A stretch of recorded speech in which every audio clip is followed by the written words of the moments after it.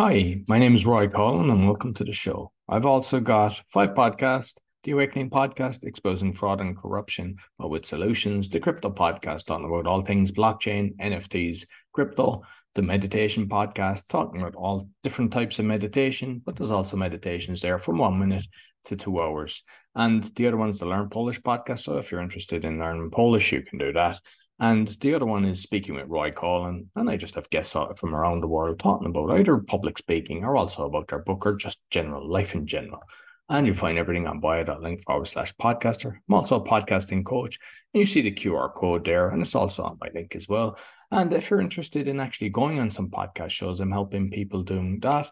Or if you're interested in sponsorship, you can contact me. And I'd like to thank my sponsor, DanielPackard.com. He helps people with anxiety, stress, and addictions. He's got a 90% success rate, and you only pay if you're successful. So be sure to check him out, DanielPackard.com. I hope you enjoy this week's show. Welcome to the Meditation Podcast.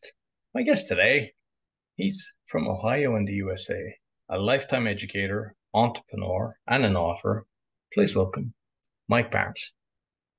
Hey, how you doing, Roy? Good to be Mark here. Barnes. Apologies, Mark. Oh, oh, no problem. I didn't, I didn't even catch that. You wouldn't. I couldn't tell you how many times I've been called Mike in my life. So, no, no worries. Yeah, uh, appreciate it. I'm, I'm happy to be here. Yeah, not looking forward to it. So, I mean, I mentioned the kind of bullet points, but you might let the listeners know a little bit more about Mark. Yeah, sure. Happy to do that. Um, yeah, as you said, uh, lifelong educator. I taught in uh, the classroom at both the junior high and high school levels for, oh, I think it was about 23 years.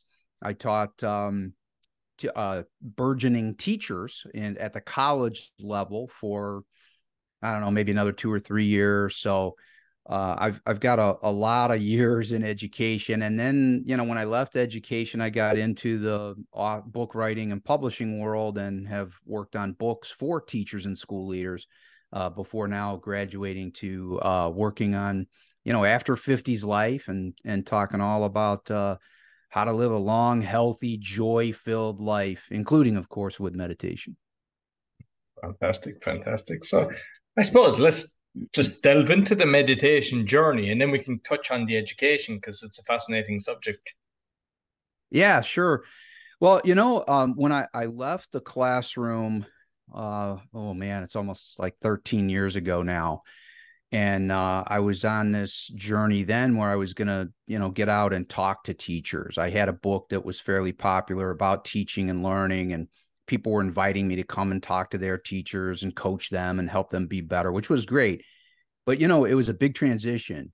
And this is one of the things we talk about in hacking life after 50 is, you know, when we get to that sort of 50 and beyond, there's a lot of transitions in life. It's not just retirement, but there's a lot of things you do that are transitions. Those can bring on some anxiety. So when I made that move, you know, I left something that was I was used to doing for decades, you know, and I had a routine and suddenly that routine was disrupted. And then I found myself, you know, on planes and traveling and staying in hotels and being out greeting people and, you know, and running uh, coaching sessions. And it it was it was tricky. I was away from home a lot. I wasn't used to it. I was pretty nervous. And uh, you know, I, I had a doctor's appointment. I talked to my doctor about it, and she was asking me all about health in general, but then asked me about my you know, mental and emotional state. And I said, you know, I I find that I'm really struggling right now. I'm nervous. I'm I'm you know stressed because of this big life change. Well, she suggested meditation. Well, I didn't know much about meditation at all back then. So, you know, um, you know, she said, you know, find a quiet place and whatever. So I, I gave it a shot. And uh, I, I got to tell you, you know, uh, which I think is true of a lot of people who are starting in meditation. I wasn't good at it. I, I didn't, you know, I felt like my mind was just wandering all over the place and I was antsy and I, I gave it up pretty quickly. And, uh, you know, I, I returned to it, you know, I, I got to say almost a decade later, right about when COVID hit in, in 2020 and, you know, everybody was stressed, right. And, and I just needed to get back to it. But what I did is I got a little bit more serious in my approach and I started reading about it and and watching videos and you know listening to podcasts and people who talked about it and practiced it and uh, you know I I got better. No, that's fantastic because I mean a lot of people they say I tried meditation it didn't work and I think what you just mentioned is the most important thing. you decided to study and understand the people that's talking about it because, like, a lot of people think you need to have a clear mind. And there's different ways you can do it with your eyes open and everything. And I think it's just finding what's right for you. And then yeah. it's like, you know, you mentioned the anxiety and everything. When you mm. realize, hey, this is actually helping me. I'm more chilled. I'm I'm not reacting as as as the way I was this is actually a system that's good and just kind of delving. But it's the most important thing. And that goes back to the education then, because at the end of the day, you know, there's nothing in life. Eh? I know a lot of people think whether it's public speaking or anything that you just become brilliant at it. The reality is anybody, they decide I'm going to study this and you know really get good at it so what i want to delve into because with all i mean i've interviewed hundreds of people especially on the speaking one and the one thing that a lot of people mention, it's either a teacher made or break broke them. And it, it like people don't realize how powerful the education system can be in both ways. And I, I'll give an example. The other days, I listened to a podcast called The Blind Boy, and the, the girl that was on, she like her parents were heroin addicts and basically just abused from a young age. And it was a teacher. She said two teachers helped her. One taught her how to clean herself, and another went to the home and said, You know how good your child is and everything. And it gave her such inspiration. She became a doctor and just changed her life around based on the teachers that actually done that. And then other sides then is a teacher can insult you in front of people, which stops a person from performing and thinking like because I know that happened me. They'd get you to speak in class, you I'd get paranoid and they start mocking you, and, and then they'd insult you in front of a classroom of 30. And then you just assume, okay, I shouldn't be doing this. And I mean, obviously, you've seen that, know, in your career, but probably even now, usually when you step away, you actually realize the whole, you know, how it all comes together and how you can help people. Yeah, for sure. That that's a great way to uh, analyze the whole teaching and learning process. And I got to tell you, I I have been on both sides of that. You know, uh, when I was a young teacher, you know, a lifetime ago, uh, you know, I was new and I, I honestly didn't feel like I had been given all the instruction I needed as a young teacher. And, you know, I had a lot of those moments where I, I said things that, you know, were way out of line with kids. And, you know, I was sort of a, a hard nosed, you know, my way or the highway guy. And, you know, I would say that to kids, you know, if you want to be successful, you, you do it my way and you know occasionally you would say something that uh, you didn't think was harmful but you don't look at it from other people's perspective so i did a lot of that and over the years i, I think i learned that you know especially when i had my own kids you know you you want you want your kids treated right and i got better at that and better at listening. And that that's kind of what we teach in hacking life after 50 when we get to things like meditation. You know for one uh, we try to take the simple approach you know i, I think there's a lot of um, there's a lot of mythology around what meditation is. And and you know i said earlier that i was unsuccessful when i first started because i didn't know going back to that teaching and learning right i hadn't been taught i hadn't studied anything i hadn't researched it and uh, i i just didn't really get it but the more i learned the better i got and that's what we do is we say you know it what you think of meditation eh, or what you've heard may not always be right that there are many different ways to do it. And and in Hacking Life After 50, you know, we we just we spend part of a chapter on it.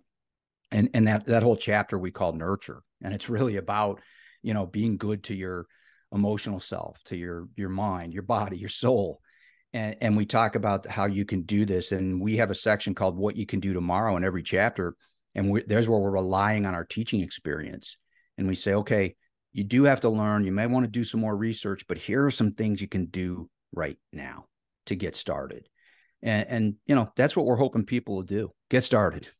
Okay. I mean, I'm uh, I think it's like five weeks. I'll be 51, so it's I'm in that category. So like, what's the main thing? Because I mean, obviously, there's a lot of different things, but I, I, the way I look at it in life, we, like say water and stuff like that, that's very important. We put our energy into that and concentrate, make sure we get the best. But with what you're kind of writing and doing, what, what do you suggest is kind of the priority? Yeah, well, you know, we start with with purpose in, in the beginning of Hacking Life After 50. We we have a, a whole chapter dedicated to purpose. What we say is I talked about transition earlier, that when people get to that point of transition in life, 50 and beyond, oftentimes there's pretty big life changes. You know, you it, maybe you're either thinking of retiring or you have retired or you've transitioned to a new career.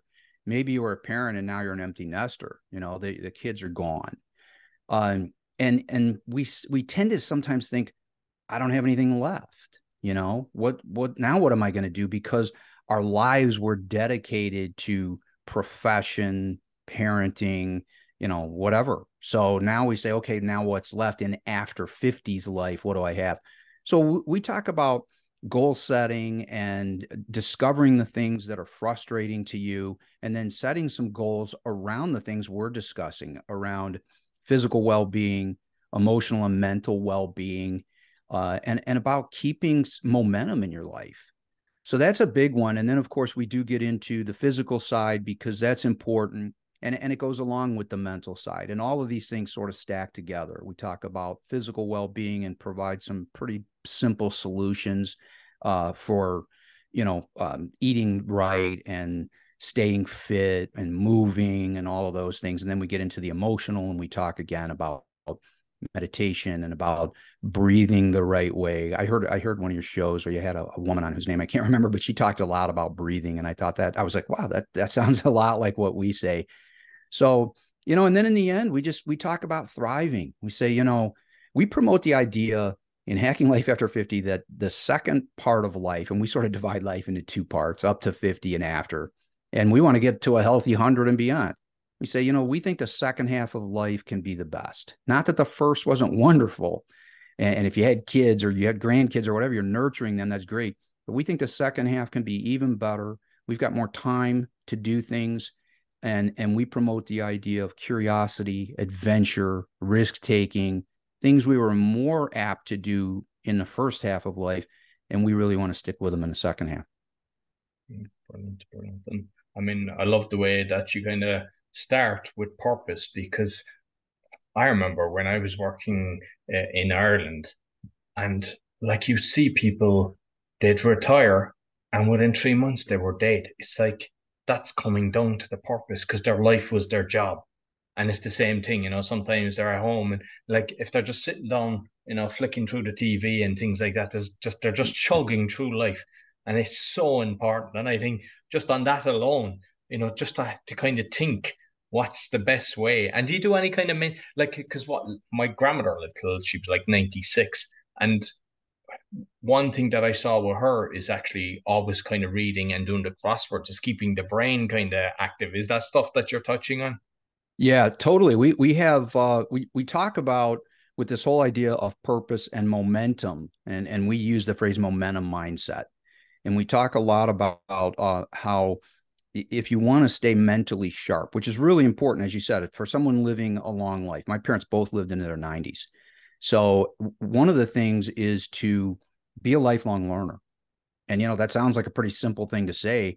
But as you just noted, a lot of people, when they, when they age and, and get in that mindset of, well, I'm kind of done, I did everything, it's easy to just kick back and do nothing. You know, it is easy to sit around. It's easy, you know, you get up in the morning, go, well, I don't have anything to do today. I don't have any responsibilities. So we talk about, uh, you know, sort of making this second act of life a journey and uh, almost uh, think how you did when you were younger. You know, if you were in your teens or 20s, you were educating yourself. Maybe you go to college or you go to trade school or something and you're planning for a career. So it's easy for the young people to say, I've got this purpose. So what we say is, what are some things you might want to do or you might be interested in that you've never done or you've never even tried, or you thought, I can't. Well, now that you have more time on your hands, which is is typically a, a gift of after 50s life, is the gift of time. We say, let's start exploring. And again, in, in Hacking Life After 50, in, in each chapter or hack, we have these what you can do tomorrows. And we do encourage a lot of um, inventorying yourself. What am I interested in? What do I want to do that I've never done before? What can I do? Uh, where do I need to improve? And this is all a part of that momentum mindset. And once people start writing this stuff down, then we say, okay, now let's set some goals around it. If it's fitness, if you say, well, I'm in my 60s or 70s and I don't feel great, well, let's do something about that. And and there's some simple strategies for that. You know we talk about strength training and it you know the book isn't all about diet. It isn't all about weightlifting or anything like that. It's about a general well-being. So we want to work in small increments and build lifelong habits. And like i've all my life you know i into sports I always loved playing football doing different things and it was squash for a, a lot of the last few years. But then when you know the lockdown happened, everything was kind of shut, and I I I, I noticed I kind of put on a few kilograms and decided, and I was never into a gym, but I said, all right, this is the only thing because you know the squash and plus squash you know when you hit 50 it's kind of like not not the best as well because it's kind of high impact and everything.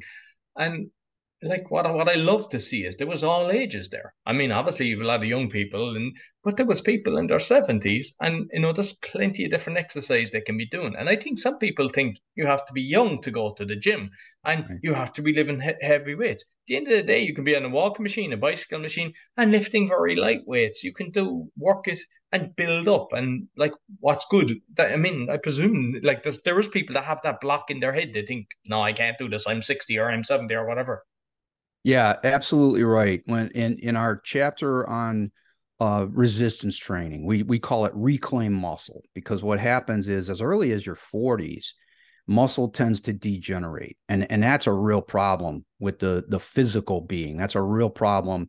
Uh, every decade, muscle will degenerate, muscle mass, if you aren't, you know, treating it. If you're not exercising in some way, if you're not lifting, and and what we promote is functional movement so you think about as you really age, what are the things you do now that you want to continue to do?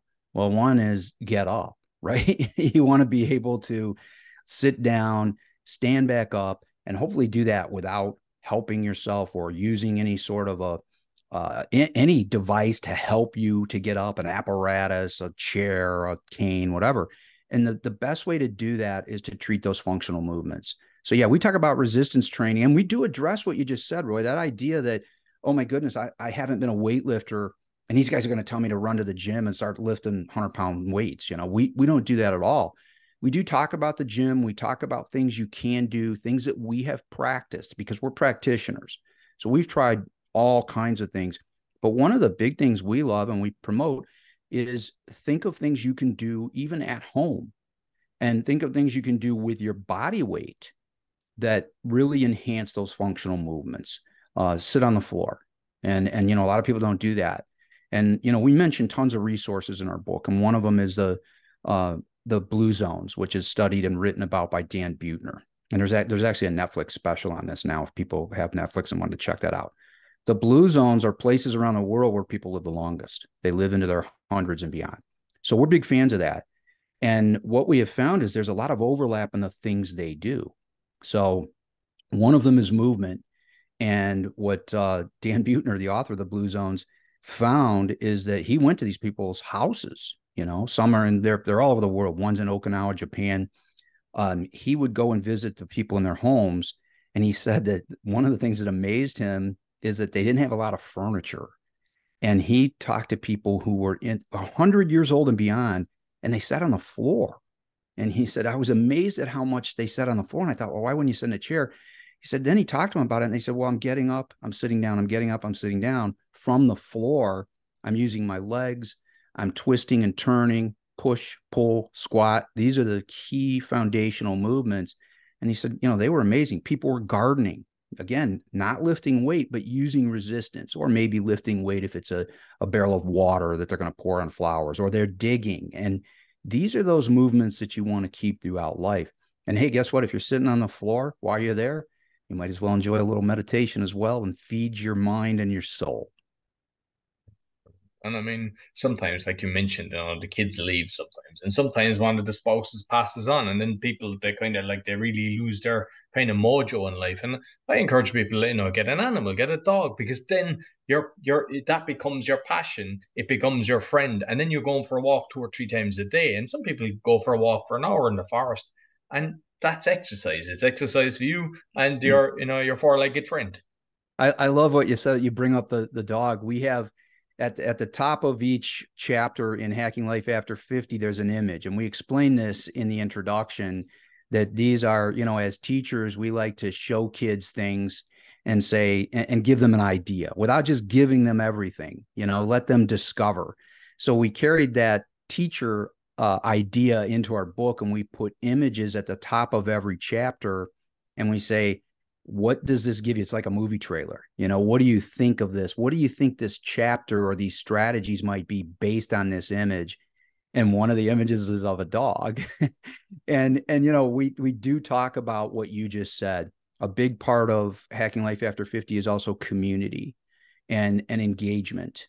And this goes back to that whole momentum mindset. And you also mentioned people who may lose a loved one. Isolation and loneliness is a huge problem in after 50s life. So, to, in order to nurture mind and soul and body, all those things work together. Yeah, a pet is great. There's tons of research on it. So, we've got the picture of the dog. We talk about taking the dog for a walk. And then, in addition to taking care of that dog's needs and, and enjoying, uh, a, you know, a loyal pet, you're also out walking. You're getting sunshine. Natural light is really important. That's a part also of meditation, breathing, all of that, being in that mindset of calm. Uh, so these are really important things, and and it and it is a, a, an amalgam of all the strategies. You know, it's it's movement, it's purpose, it's strength training, it, it's community, it's being in nature. All of these things help you live a long, joy filled life. I remember because I, I was looking at I think it was the Wheel of Fortune or the Wheel of Health. It was kind of like the the Hunza in the Himalayas were living the longest, you know, well into the hundreds, and it was all about crop rotation and just eating healthy and basically no junk. Mm-hmm. So like it obviously nutrition is critical. It's it's a huge part. And and we have a again we have a chapter in the book dedicated to nutrition. And you know, we're very upfront about saying we're not doctors we're, we're not certified nutritionists. What we are, are researchers and practitioners. So anything that's in Hacking Life After 50, we have put a ton of research into from all different sides, uh, very much into the medical profession and the people who are the experts. And then we've gone and tried it. Uh, you know, I share a story about how I was really struggling, you know, uh, some years ago with weight, and and I take some uh, medication that really makes you eat more. And I got to be 30 pounds heavier than I am now. And, you know, I didn't feel good. So, it, you know, I got to that point where I said, I do want to live a long, healthy life. I want to be around for my kids. I want to, maybe they have grandkids. I want to be around for that. Plus, I want to explore. We live in a beautiful place, right? The whole world. It's a marvelous place. And I want to explore all the great things out there. And uh, that was when I, my research into uh, dieting and and all of that started. And we don't really promote any diets. We talk about a balanced nutrition and meal planning. And uh, you know, you're right. You, you have to be careful what you put into your body. And again, going circling back to the mental and the emotional side, Roy. You know, we, we're talking a lot about meditation and and mindfulness and all of that. A piece of it is what you're doing uh, to your body? What are you putting into your body? Because if you're putting the wrong things in your body, you're not going to feel like sitting down and meditating. You're going to feel like going to sleep. You know, so yeah, we we give some real simple strategies for inventorying what you eat, removing some of the bad things, not all, but most, and you know, work on an 80-20 plan. 80% good, healthy foods. Talk to your doctor; they'll give you great advice and and you know don't deprive yourself because a part of this is also joy right? We want that joy so don't deprive yourself of everything. There's a nice balance that'll help you live that long healthy joy filled life. Like you mentioned you're not doctors but uh, like most of the books that i've read that aren't from doctors because you come looking at it from a dis- different perspective and i mean there's the, the thing is most doctors train under the same system and they're mm. not trained nutrition. And I mean, I have eh, delved deep into this. There's only one country, I believe it's Albania. They spend six months. The rest, no. So, like, and there's times I will talk to doctors. I've got doctor friends, and I can give them advice that they're unaware of that will actually help them. So, you know, like sometimes we think, oh, we have to run to, and of course, like there's times that you have to, and they're very, you know, their, their training will help you. But there's other times that, especially I think when it comes to natural, like the, you know, very few will say go out and take a walk in sunlight, you know, get exercise and things like that. They'll, they'll throw you the pill. And I think for, for humanity, what you're actually teaching is, is, is a lot better for most people. Yeah, well, I I appreciate that insight. And the thing uh, we talk about doctors, and we're, you know, again throughout we we offer disclaimers. We're not doctors. We're not certified nutritionists. We're practitioners, and always consult with your physician. But what you said is spot on. I will tell you that I used to be a horrendous sleeper, and uh, anytime I got a physical, we would talk about it. But my doctor, who's great, didn't have a ton of advice around sleep because you know that wasn't an area of expertise for her and i was labeled as an insomniac and i'll tell you when i got on this after 50s life journey and living long and healthy and that quest to a healthy 100 and i started researching and, and practicing so many different things one of the things i realized is that sleep is really important you're, you're not going to live a, a, a super long life i mean unless you just get lucky with genetics you're not going to live into that 90s to hundreds if you don't value sleep.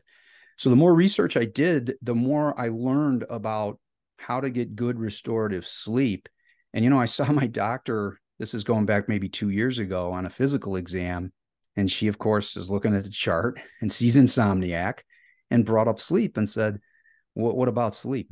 And I said, "I sleep great." And she said, "Well, I, I'm I don't understand. You know, that's always been a problem for you." And she's been my doctor for decades she said, it, it, That's always been a problem for you. What happened? And I said, Well, I started doing some research and I started putting some things into practice and I learned how to help myself be a better sleeper. And you know, I and a big part of it is what we write about in Hacking Life After 50 and it's a combination of things. She said, "Give me some specifics." I said, "I completely changed how I eat." I said, I, I got rid of the standard American diet, you know, the burgers and the chips and all of the refined carbohydrates and the sugars. I said, I got rid of that stuff mostly, you know, 80% gone. And um, I said, I started exercising more. You know, and doctors always say exercise. Anytime she saw me and I was 10 pounds overweight, or eventually when I was 20 or 30 pounds overweight, she'd say, Well, you should exercise more. But, you know, where's the practicality in that? You know, how many times do we hear that from a doctor? and go and try it and you don't really have good advice on what to do it's just like i said with the meditation she same thing she said years and years ago try meditation okay well i don't really know how to do that so you know i think you're right we do as as educators and anyone can do this and researchers i think when you have your own best interest at heart not that your doctor doesn't care about you but you have your own best interest at mind in your mind right so the best thing you can do is say I want to learn everything I can about being the best me. And and that's what I did and I put all those things together, the fitness, the the eating right, meditation, uh, d- deep breathing, all of the right kinds of things, and then setting up my night for the right kind of sleep. And we get some really specifics in there about sleep hygiene. A lot of people don't understand sleep hygiene. And there's some very specific things about what you can do. But again, we say if you eat right and if you move a lot throughout the day and you do a little resistance training along with these other strategies, you'll start sleeping well. Yeah, and I think uh, like the technology as well, because some people think, oh, and they use the excuse, oh, somebody needs me or whatever. And it's like reality is, what can you actually do? And you know, having the phone next to you in the bed, and or even just having it, because sometimes people they have it and they do turn it off, but they have the screen in front of them for the hour before going to bed. And once you start researching these things, you go, hmm, no, the phone should stay downstairs, and I shouldn't be actually, you know, doing that. Well, you couldn't be more accurate on that, Roy, and that's a that's one of those specific strategies we give. You know, we're talking a lot on the on the boundaries of all of this stuff, but that's a really great specific one uh, the technology and uh, you know you, the blue screens, the TV. I used to have a TV in my bedroom. We we flat out say in hacking life after fifty, get your TV out of your room. You know, it, if it's if it's nailed to the wall, put a towel or a blanket over it. Put your remote in another room. stop watching TV in bed, you know, and, and that's the other piece of it. You know, bed, there's very specific reasons for a bed. And if you stick to those specific reasons, one being sleep, you actually train your body and mind that when you go to bed, you're going there to sleep. So if you're going there to turn on a TV, you know, that's no good. And then there's, you know, again, we keep keep circling back to meditation, right? A, a big thing that we recommend is slowing everything down. And again, this comes from a lot of research and also practice. Slow everything down before you're going to bed. You know, uh, don't eat late. Exercise is great. Nutritional eating is great. Don't do it right before bed. Eliminate those things at least three hours before you're going to go to bed. Be intentional about when you sleep. Try to go to sleep the same time, try to get up the same time. And if you can slow yourself down with a little meditation before you go to sleep, uh, it's it's so powerful, so powerful. And you know, like it's something I've never done, but I know that my folks are doing it, and I know other people, and I I can't understand having the television in the bedroom. Where like do not have a TV. But the other thing is, not only on the TV, but on sometimes the alarm clock, you have the red light, and that's affecting your sleep. And people don't even realize it, but it is actually you you can actually see that, so you're not getting the proper sleep. And I've even taken it another layer. It's like I've got this device that you know energy um EMF or whatever it's like the frequency and all that. Mm-hmm. And I've realized that yeah, you have your light against your bed and you're turning it off, but the power is in the cable. So mm-hmm. now if I have something on and I'm reading or whatever, I plug out the lead because it makes a massive difference. And I know 99% of people don't do that, but you actually plug it out from the wall because even if the lead is around your overhead bed and you have the mm-hmm. lead there, the energy is actually in that and it's all affecting you. Because just because yeah. you can't see it doesn't mean that it's not affecting you. No, I you you've done your research too, Roy, because you're spot on. We talk about all these things in hacking life after 50. Sleep environment, we talk a ton about. And again, most people don't get it. You know, starting with the the blue lights and the TV and things like that. But what you say about any additional light, we say you make make your bedroom like a cave. You know, it should be dark. Get rid of all the light. Um, cool it down you know, that's the other thing. It's really important to to have a cool sleeping environment. Doesn't mean you can't sleep without covers. You know, some people are like, I gotta have my covers, and I'm like that too. But you want that room cool. We say get it down to 65 or six. And again, this is research and practice. It's it's we're not making this stuff up, but and there's so much more. There's a there, you know, again, we we've dedicated an entire chapter to what we call recharge, and it's all about fueling your body, your your brain, taking care of your your cellular restoration, all of this is really important like just on on the bedroom because I think it's very important because we spend another third of our life actually hoping that we'll sleep properly. And especially those with the military background, you'll hear them on, on stage and they're like, make your bed, make your bed immediately, it sets you up for the morning. And I'm one that says, no, you shouldn't do that. It's like open the window and keep the, because basically the dust mites and everything in the moisture, that's where they grow. So you're making sure you don't have that. Plus, you're getting the air that's actually fresh in the room. Mm-hmm. And it makes it makes a big difference. And just simple things, they all add up. You know, it's like the compound effect. But it's exactly it. As I, I've said a few times in our conversation, in hacking life after 50 it, it's all cumulative you know we we roll out strategies one chapter or hack at a time but we constantly say now if you combine this with what we said in this earlier part you're even going to be better. So it is, there's a compound effect. All of these things and the stuff that the talk about sleep, I love because um, it, it's so underrated. And, and there's just so many people. I mean, I have friends and they're like, yeah, I get like four or five hours. That's good for me. And I'm like, oh, I, I don't, that's not what the science says.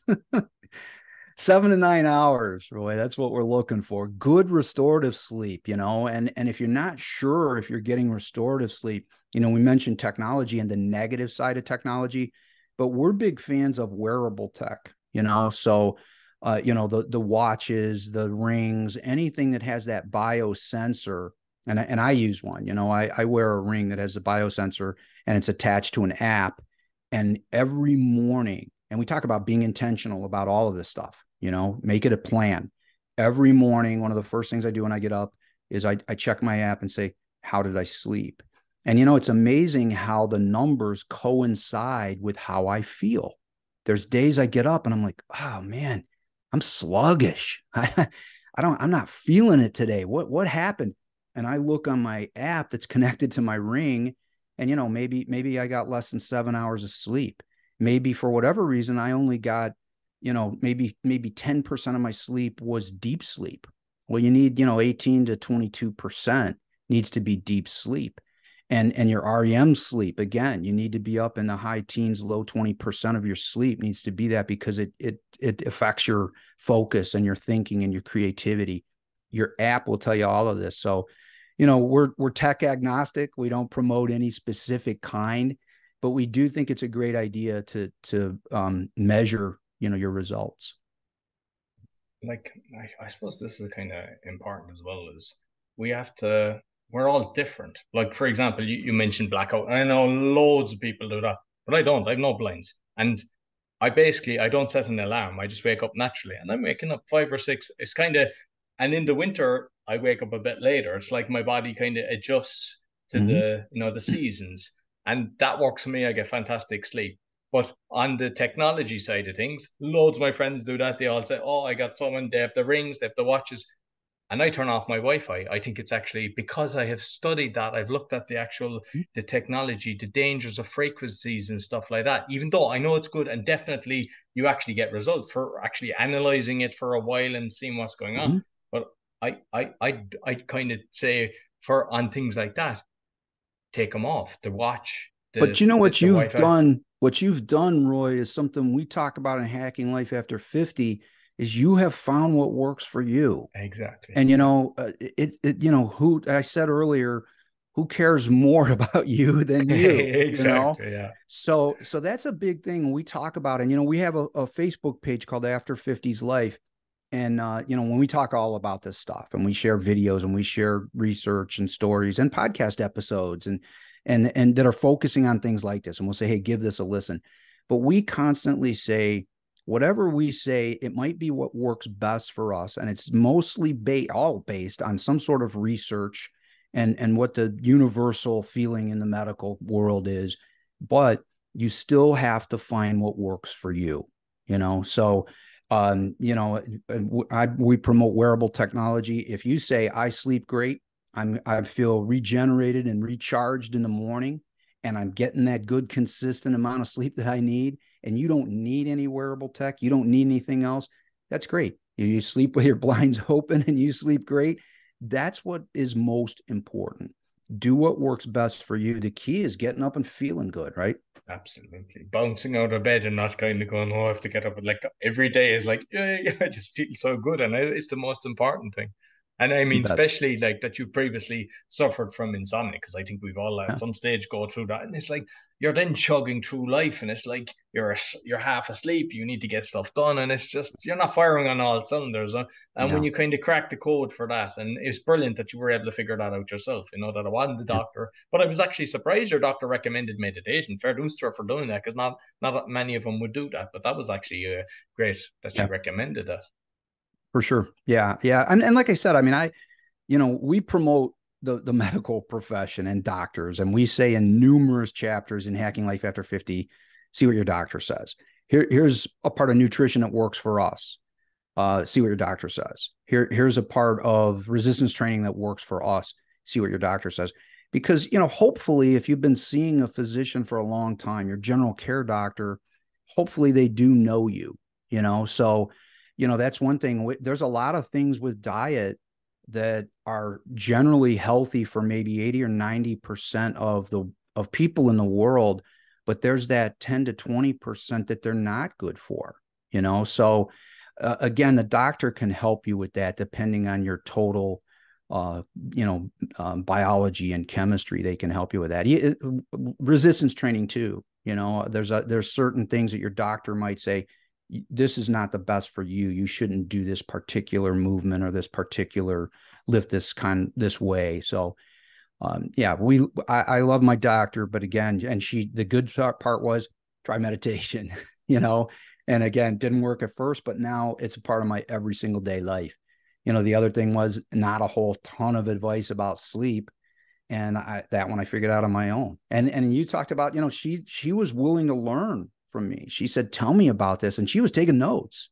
And she said, "Well, that's all great." She goes, "I'm going to recommend that to other patients who are struggling with sleep." So, you know, we're better together than we are apart, Roy. Absolutely, no, love that, love that. And so your your your podcast, because I know you're in the top uh, two percent, but uh, you're doing like solo shows. You're you, it's not a guest kind of thing. It's like you're you just yourself, yeah. No, no, I am guesting. I now I used to have a show on, you know, I created this hack learning series, which our book's called Hacking Life After 50. It's a part of this book series that I created after I left the classroom, you know, over, you know, a decade ago roughly.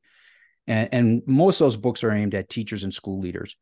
But um I, I started a podcast maybe a decade ago when we started all this. I wanted to get people thinking about this, what we call the hack learning model, you know, just the way we look at problems and we solve problems.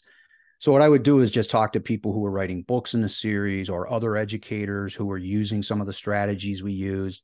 So, that was called the Hack Learning Podcast. I mean, it's out there, but I, I don't really create the episodes anymore.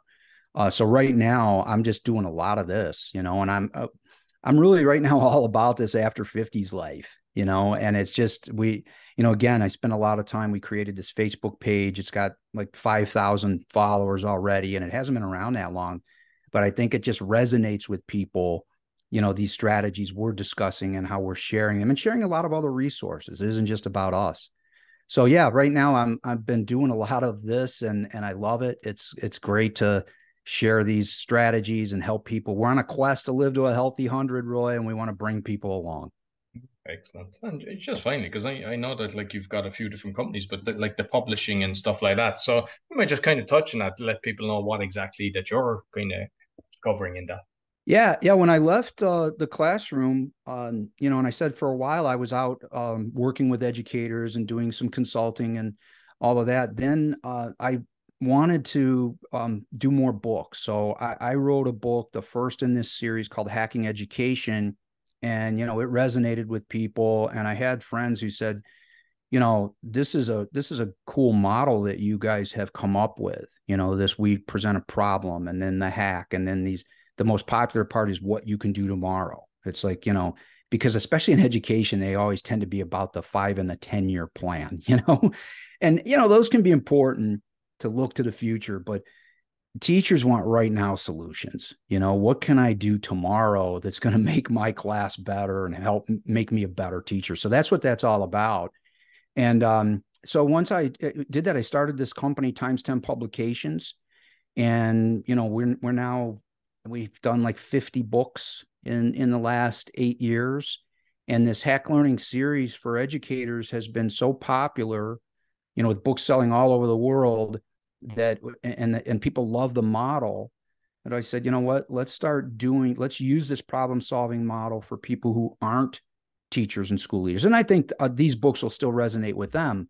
But you know, the idea is let's branch out. Let's do some stuff. Let's help people solve problems in in all phases of life. And that's where you know the first one uh, I'm the co-author of Hacking Life After 50 because you know, I've I've been in this after 50s life and this journey for a while. And I was like, you know what? This is an experience I want to share. So we'll be doing more. We've we're now calling this Hack Learning Life. So the Life Edition is is um, you know, we're going to be doing a lot around health and fitness and business and startups, entrepreneurship, and you know, all kinds of things. So we're hoping to help a whole lot of people around the world solve problems. Excellent. Brilliant. So Mark, thoroughly enjoyed our conversation. You might let people know how they can get in contact with you. Yeah, well, for um, hacking life after 50, again, everything is after 50's life. You can go to after50slife.com and uh, the book's there. There's images of me and my co-author Jim Sturdivant, links to us so people can get to know who we are.